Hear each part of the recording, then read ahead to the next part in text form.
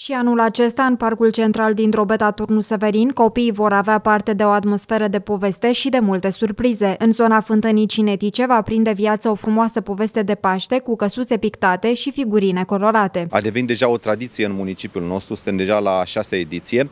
Uh, zona centrală a municipiului Drobeta Turnu Severin, Parcul Central lângă fântâna cinetică, va fi și de data aceasta decorat cu tot felul de personaje de poveste, care cu siguranță vor fi pe placul copiilor. Vor avea loc aici evenimente dedicate în special celor mici. Uh, vom avea mascote, baloane, uh, diverse jocuri pentru, pentru copii. Uh, sărbătorile sunt un moment în care cu toții trebuie să, să fim mai buni și în special să pregătim surprize pentru copii, pentru că asta ne dorim foarte mult. Astfel, copiii se pot bucura în toată săptămâna luminată de decorațiunile de Paște, respectiv figurinele ce reprezintă ouă roșii vopsite, iepurași și căsuțe în diferite forme.